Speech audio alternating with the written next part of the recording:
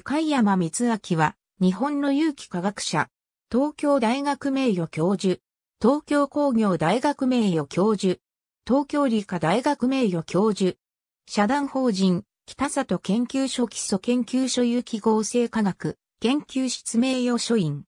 東京化成工業株式会社基礎、研究所技術顧問、長野県稲市出身、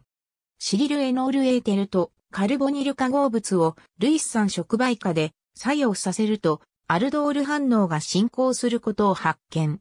この反応は世界的に向山アルドール反応と呼ばれるほどで、今日、有機合成化学者で知らない者はいないほど有名である。それ以外にも脱水縮合反応を中心とした研究を行っている。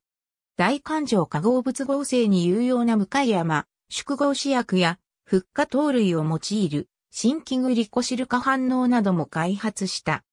脱水反応は、ライフアークとも言うべきもので、その手法は大陰管略トンの合成法である、向山、氷法、糖類の立体選択的アノマー構築など、数多くの素反応へと展開された。弟子にあたる三信応用がこれを継承し、発展させたものが巧妙な三信反応である。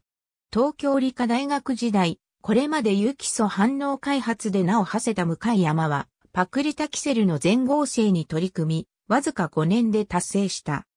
その合成ルートは、アルドール反応をうまく組み合わせ各地換気の立体が制御された非関係化合物をヨーカサマリウムを用いた環化反応により8陰管をはじめに構築するという非常に特徴的なものであった。これはタキソール全合成後例目にあたる。